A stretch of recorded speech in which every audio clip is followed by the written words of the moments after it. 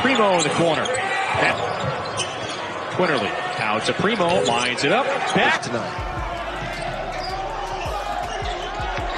His first basket.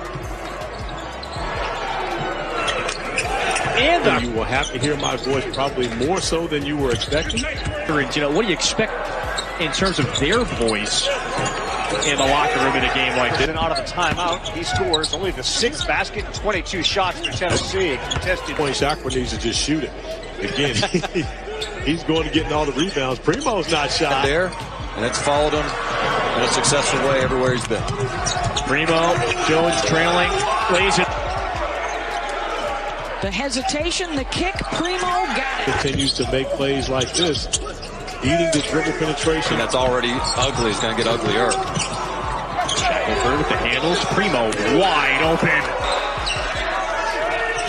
Primo going to try again. Already his eighth. Terrific. Yeah, so is Barrett.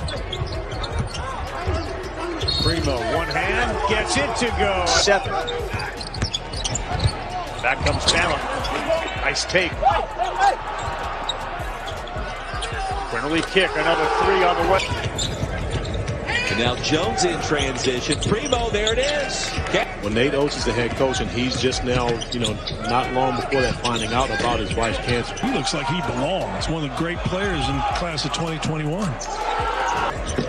Watson now with 17, lead back to 10. Caleb I, I'm sorry to interrupt you, but he is light hot right now. If you remember Shai Gilgeous Alexander, he did not resident. See if that changes this evening. Primo launches. By the way, you become a first round draft choice, you're looking at a lot of money. A lot of money for some reason. Bama's got to get something going on offense. They've missed eight of the first nine shots, still stuck on two points. this is as good of a start you could ask for. Jordan Rawls keeps getting better every game. A career high of 12 points and five rebounds against Mississippi Valley going over. Transfer. Wide open three, Primo. Shackelford finds. It happened for uh, Auburn. Primo ah. back into the lane. It's been a real good win here. If they're, they're going to win this basketball game unless you got to scoop them.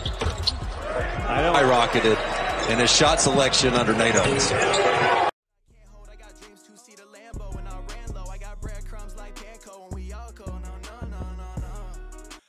Whip, pouring. Raindrops in the morning.